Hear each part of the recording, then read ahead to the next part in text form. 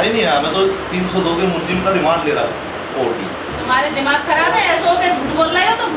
Madam मैं यहाँ दिमाग खराब है तेरे? तरीके से बात करता इस तरीके से ही बात मैं सर से ऊपर हो गया। उस गाड़ी में मौजूद थे।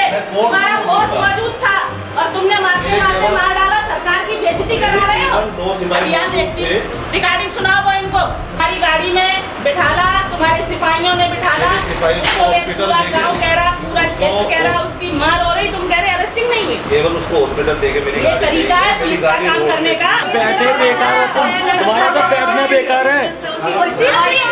हमारा तो तुम कहीं डूब के मर जाओ जाके। चुल्लू पर पानी होता है ना वहाँ पर हो जाके। जवान भाई हाथों से खिलाया अपने हाथ से। अपने हाथ से तुम लोगों ने मार दिया हमारे भाई को।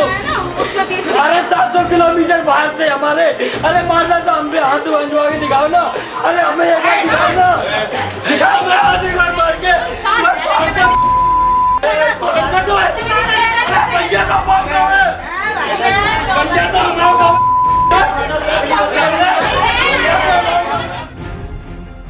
ऐसा ऐसा मैंने भी अभी ऐसो से अपनी नाराज़गी केवल इसी बात को लेकर ज़ाहिर की परिजनों ने मुझसे भी कहा कि मुझे दो लाख रुपए का दबाव देकर और घटना इस पे कंप्रोमाइज़ की बात की जा रही इसलिए यही इसी कारण से मैं अभी आई थी और मैंने ऐसो से पूछताछ भी की।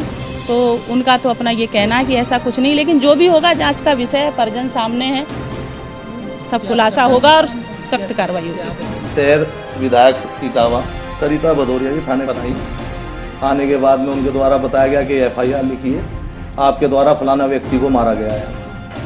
इसमें मेरे द्वारा पूरा स्पष्टीकरण दिया गया कि ऐसा कुछ नहीं है। पंचायतनामा भर के पीएम हो चुका है और इसमें मजिस्ट्रेटियल जाँच के आदेश हो चुके हैं, जाँच चल रही है। उसका जो भी दोषी पाया जाएगा, उसके खिलाफ कार्रवाई की जाएगी।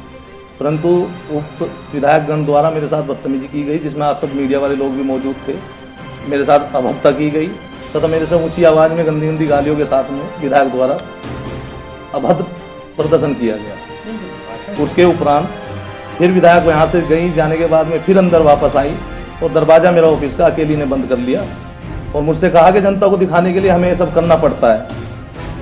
पूर्व में भी ये विधायक लगातार अनगल दबाव मेरे ऊपर बनाती आई हैं कि इसको छोड़ दो उसको पकड़ लो इसको छोड़ दो उसको पकड़ लो। मेरे द्वारा कभी ऐसा कार्य नहीं किया गया जिस वजह से इनके द्वारा आज थाने पर आगे कृत्य कारित किया गया। मेरे ऊपर बिल्कुल इस इन विधायक द्वारा लगातार जब से मैं यहाँ पोस्ट हुआ अनावश्यक दबाव बनाया जा रहा है।